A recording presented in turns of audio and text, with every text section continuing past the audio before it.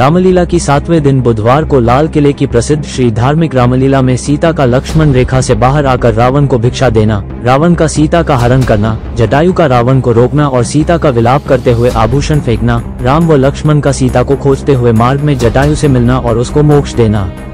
शबरी के आश्रम में पहुंचकर उसे दर्शन देना ये सारे सीन संपन्न हुए। बता दें, श्री धार्मिक रामलीला लाल किले की प्रसिद्ध रामलीला। यहाँ आए लोगों में खासा उत्साह देखते ही बन रहा था। बता दें कि इस बार श्री धार्मिक रामलीला अपना 101 वर्ष मना रहे हैं और इस बार दशहरा पर भारत की राष्ट्रपति द्रौपदी मुर्मू और प्रधानमंत्री नरेंद्र मोदी और विभिन्न देशों के कई राजदूतों और राजनयिकों को रामलीला के लिए आमंत्रित किया गया। आइए देखते हैं हमारे वरिष्ठ संवाददाता राजेश खन्ना की इस रिपोर्ट में यहाँ आए अतिथि आरएसएस के इंद्रेश कुमार और श्री धार्मिक रामलीला कमेटी के अध्यक्ष धीरज दर गुप्ता से बात करी, इस पर उन्होंने क्या कहा? देखिए हमारे संवाददाता की यह रिपोर्ट। सर, आज आप रामलीला में आए हैं, क्या ये किस तरह से मतलब राम को लेकर क्या संदेश देना चाहेंगे शताब्दियों से या युगों से भारत ने विश्व प्रभु श्री राम के जीवन का मंचन कर रहा है और देख रहा है। श्री राम एक ऐसा जीवन है जो सभी प्रकार के आदर्शों का उच्चतम शिखर है। उनके जीवन को देखना, सुनना, समझना और उस पर चलना सबसे बड़ा कल्याणकारी कार्य है। श्री धार्मिक ला, धार्मिक लीला कमेटी पिछले 101 वर्ष से इस आयोजन को निर्बाध कर रही है। मैं उनको बहुत बहुत बधाई देता हूँ कि वह हर वर्ष लाखों लाख लोगों के अंदर नैतिकता को जन्म देते हैं, नैतिकता का विस्तार करते हैं। राम, छुआछूत मुक्त प्रशासन व्यवस्था थी। राम, जो गरीब है, दुखी है, पीड़ित है, कमज़ोर है, असहाय है, निर्बल है, उनके लिए ममतामय सहयोग की और सद्भाव का चरित्र है। राम नारी के सम्मान का, उसके शोषण से मुक्ति का रास्ता है।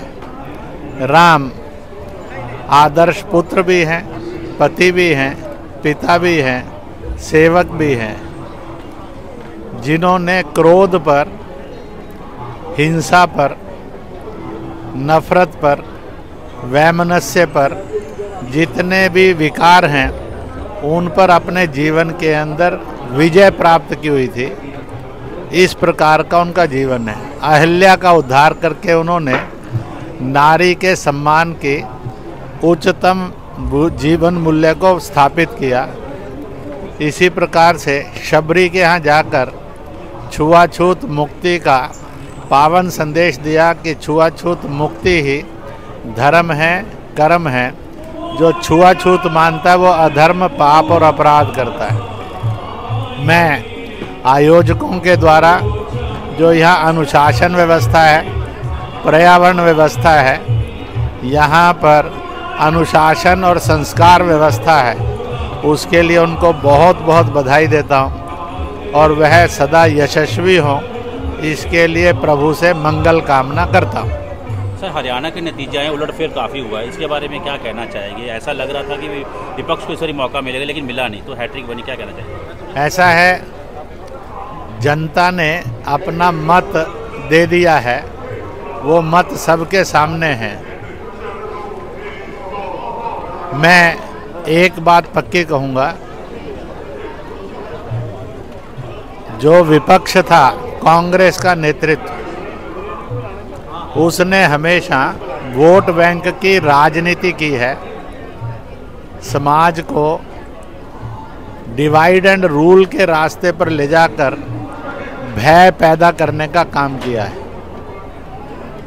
तो इसलिए उनका रास्ता स्वस्थ लोकतंत्र का नहीं है, बल्कि एक हिंसक लोकतंत्र का है। हरियाणा की जनता ने बांटने वाली, लड़वाने वाली, बरगलाने वाली और भय दिखाने वाली राजनीति को नकार कर जो सबको साथ लेकर, सबके विकास के लिए काम करें, जो जनहित के अंदर काम करें, उस राजनीति को स्वीकार करके हरियाणा के चुनाव परिणाम को जनता ने लिखा है और बोला है।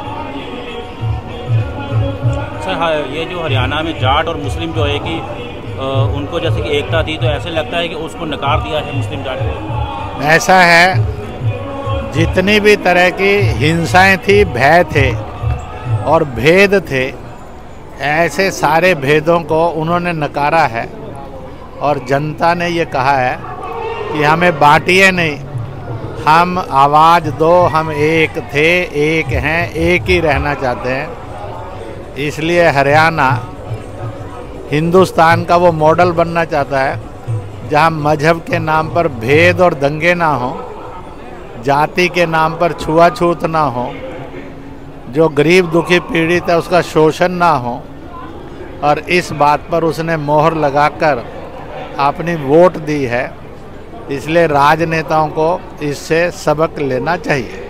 सर, इस बार 101 आपका जो है कि मनाया जा रहा है तो क्या खास इस बार रामलीला कोई ख़ास बात तो नहीं, पिछले साल में हमने सौ साल बनाए थे, उसमें कई चीज़ें करी थी हमने तो वो तो करा ही, पिछले सौ साल हो गए थे हमें।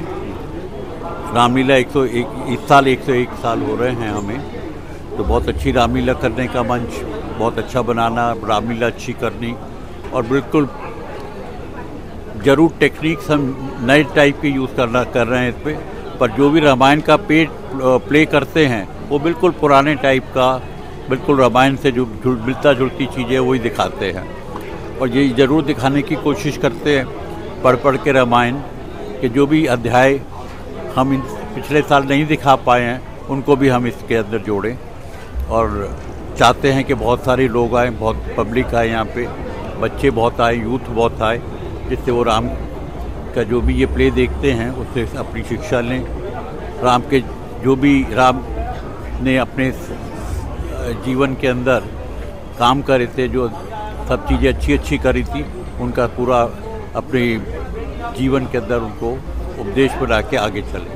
आज के कौन कौन से सीन अगर आज के सीन की बात करें तो आज कौन कौन सा सीन आज मंच पे हनुमान जी का मिलना है राम जी से और राम जी ने उन्हें बताया कि मेरी सीता, उनकी सीता जी का चोरी हो गई हैं। तो हनुमान जी ने कहा है कि आप किसी बात की चिंता ना करिए, हम आपके साथ हैं और सीता जी को ज़रूर ढूंढ के लाएँगे हम। और हनुमान जी का लंका में जाना है, वहाँ पे लंका जलाना है, ये अध्याय है आज की तरह। विजयदशमी पे कौन से अतिथि इस बार मुख्य अतिथि रहने वाले हैं? कौन कौन से हमारे देश की महामीम श्रीमती मुर्मू जी आ रही हैं और प्राइम मिनिस्टर साहब आ रहे हैं मोदी जी। ये इस बार की विजयदशमी के मुख्य अतिथि रहेंगे। हाँ जी। लगभग कंफर्म हो चुका है। हाँ जी।